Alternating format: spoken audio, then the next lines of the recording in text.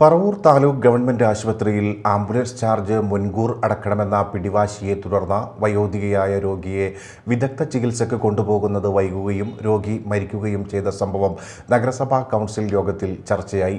വിഷയത്തിൽ ആശുപത്രി സൂപ്രണ്ടിനെതിരെ സർക്കാരിനെ സമീപിക്കാൻ കൗൺസിൽ യോഗം തീരുമാനിച്ചു. എറണാകുളം ജനറൽ ആശുപത്രിയിലേക്ക് വിദഗ്ധ ചികിത്സയ്ക്ക് റഫർ ചെയ്ത അസ്മ എന്ന രോഗിയാണ് തൊള്ളായിരം രൂപ മുൻകൂർ പണം അടച്ചാലേ കൊണ്ടുപോകുന്ന വാശിയിൽ ചികിത്സ വൈകിയതിനെ തുടർന്ന് മരിച്ചത്. സർക്കാരോ നഗരസഭയോ ഹോസ്പിറ്റൽ മാനേജിംഗ് കമ്മിറ്റിയോ അനുവാദമോ ഉത്തരവോ ഇല്ലാതെ തന്നിഷ്ടപ്രകാരം ആശുപത്രിയിൽ നടപ്പാക്കിയ കാര്യങ്ങളാണ് ഇത്തരമൊരു അവസ്ഥയ്ക്ക് ഇടയാക്കിയതെന്ന് കൗൺസിലിംഗ് യോഗം വിലയിരുത്തി. ആശുപത്രി വക ആംബുലൻസിൽ രോഗിയെ വിദഗ്ധ ചികിത്സയ്ക്ക് കൊണ്ടുപോകുന്നതിന് മുൻകൂർ തുക അടയ്ക്കണമെന്ന് കാട്ടി ആശുപത്രിയിൽ ബോർഡ് പ്രദർശിപ്പിച്ചിരുന്നു. ഇതിൽ വിവിധ സ്ഥലങ്ങളിലേക്കുള്ള മുൻകൂർ തുകയും രേഖപ്പെടുത്തിയിരുന്നു.